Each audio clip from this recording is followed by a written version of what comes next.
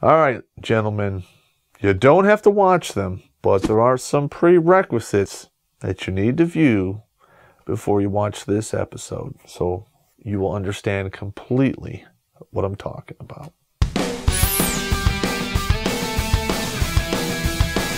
Yeah. All right, ladies, I got some bad news for you.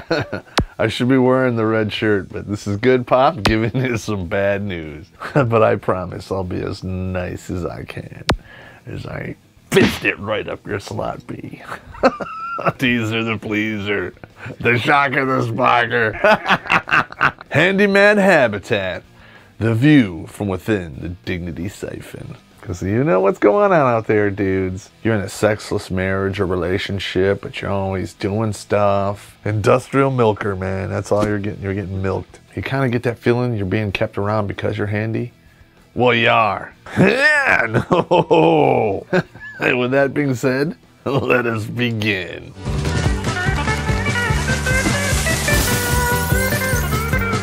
My strategy to help try to avoid a lot of this stuff I talk about is just to play dumb. And dumber than a box of blonde hair.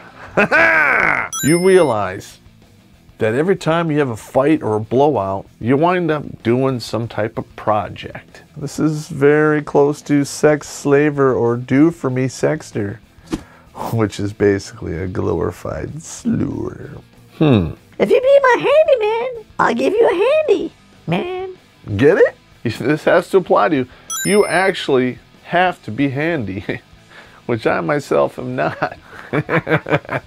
okay, if you're not handy, you know, this this is a whole different ball game. You're just financing everything, which is similar but different. That first chore you do, screw it up. And if you take down half her house, all right, this is a dead giveaway. You make the mistake of marrying it or living there, all your shit is there. You never get put on title. Hmm, big, big red flag. And while all this is going on, you're swinging the hammer to put in that new deck. And while you're at it, put in a trap door that only you can control. Winning! Life insurance. Put up huge sums of your own cash, even though you're not on title, to finance a lot of this habitat maintenance. You need to remind her, like, hey, this is your house. course, that won't go over very well, but you will even go so far as to drive yourself into debt to finance the habitat which you have no name on title. I don't care if it's the best piece of slot C you ever had or ever will know. I don't care if it dons a top hat and sings show tunes. Cut away. Reserve three bells out the door. Now, one friend of mine, he does all of the handyman habitat stuff, right? And he keeps his tools in the garage. And this is his dedicated space. And he was being pressured to move those off-site into another storage area. Think it's time to move out and burn that new addition down with you. what kind of shit is that at that out? I mean, come on. Get your money back one way or another. Because you're not getting pussy payments, I'll tell you that much. She was expecting him to store his stuff off off-site, pay for storage, so and and still be the handy. What? Really? Come on. Smurf my balls. You realize with time that your chores and your workload around the habitat will increase. Even though you work a full work week, which may or may not involve 10, 20, or 30 hours of overtime. And on top of that, you're a handyman living in the habitat. Just think about that. And it all rhymed. what are you to do? When it starts getting to this, you can pretty much expect to also be the cook.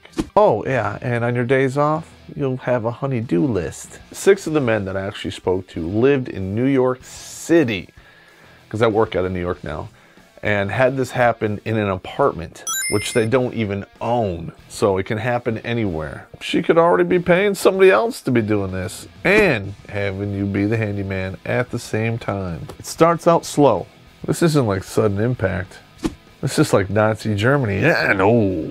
But by the time you get ejected, you'll be doing this 24-7. Feminazi Germany. You'll go over and fix stuff at her mom's house. You'll go over and fix stuff at her dad's house, her sister's. You'll be going all over the place. She'll nominate you or volunteer you for all kinds of work. You're being the handyman for all their habitats. And then when you're all done, you're hitting the silk, baby. You might as well just goose step yourself right out the back door. You come to realize that you are actually tricked into wanting to do it. And I'm going to call it as I see it. And some of you can be mad about it, and that's cool, but you're stupid. All I got to do is shake it right, and you'll fall right in line with number 10. She loves me. Take it with a grain of salt and take it on the chin. Realize it. That You were stupid, and now you're not stupid. Whenever she speaks to you, she's talking to you with contempt.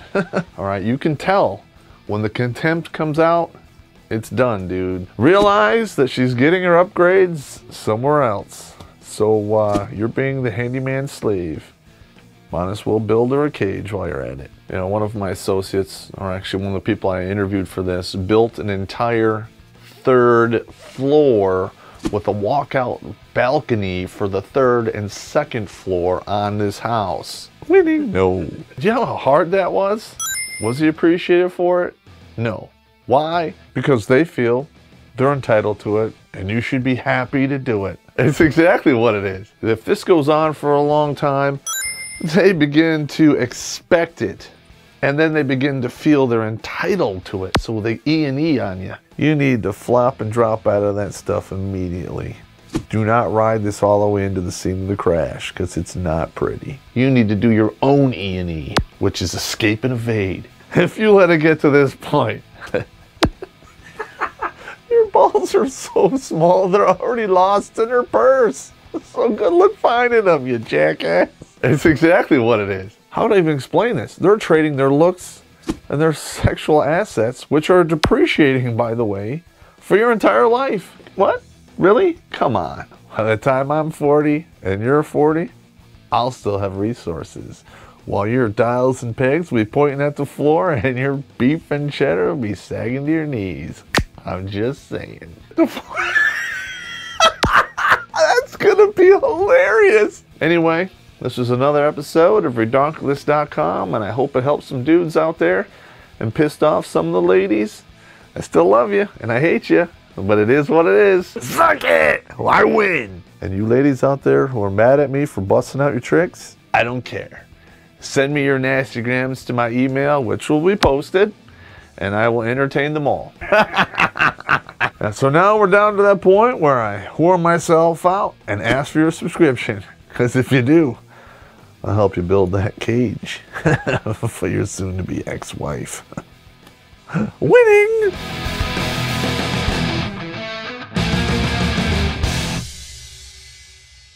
All right. this is to be a good one. I should have wore the red shirt. Yeah, no. You will folk. folk. Number four, folk, folk, folk, folk, folk. Edit that out. Pedicure, manicure when you're taking care of the kids and fixing the house. Yeah, no. Don't be mad at me. Don't hate the player, hate the game, man. You're caught in the game. You're screwed. And not even with your own Peg D.